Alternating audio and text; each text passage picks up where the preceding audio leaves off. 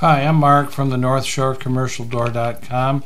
Today we're going to do a product introduction and our product today is a replacement transmitter made by Digicode. Digicode is one of our old line suppliers. They're located up in a suburb uh, near Detroit and they do a good job for us.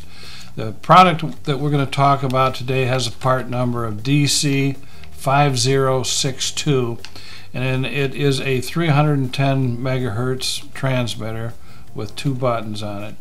Now the um, Digicode 310 megahertz transmitters operate on the multi-code, which is a uh, an old Linear product. So you could call this a clone or a look-alike or a compatible. Call it what you will, but it it operates on the uh, multi-code frequency and the uh, 310 multi-code frequency was very popular with uh, Stanley garage doors. So if you've got an old Stanley, you'll probably find out that it's in 310 megahertz. We're going to open up this package and look inside.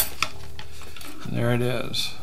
It's uh, got two buttons on it. One will run one door, one another, so you can operate two doors, two gate openers, one door, one gate you know, whoever whoever set it up originally is going to determine what it uses.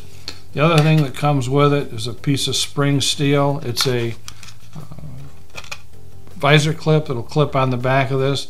Then you can clip that to the visor of your car so that it doesn't roll around your car and fall off the seat.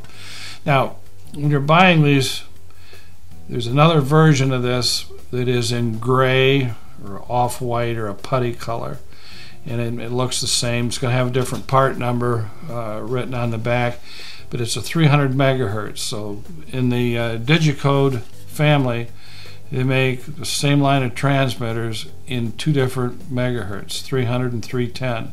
Make sure that you don't buy this thing because you like the black one if you already have the white one because they're not interchangeable. So that's something you need to, to look at before you make your buying decision.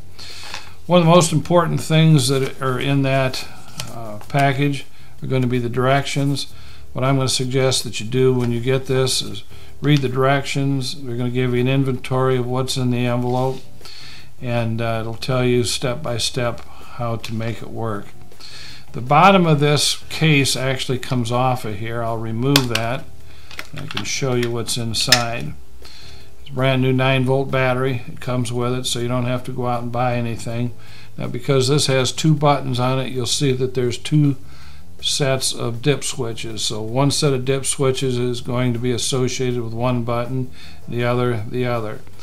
So you're going to need to get your existing transmitter get it open find the dip switches and then match the dip switches if you run into any trouble while you're doing this and can't make it work our employees are all well trained and well versed on this product and very willing to uh, help you with it. As we always say at this point, uh, we've got them. Come and get them. You'll enjoy them. Thank you. Thank you for watching this video from NorthshoreCommercialDoor.com. Please subscribe to our channel so we can continue to make content like this. Thank you.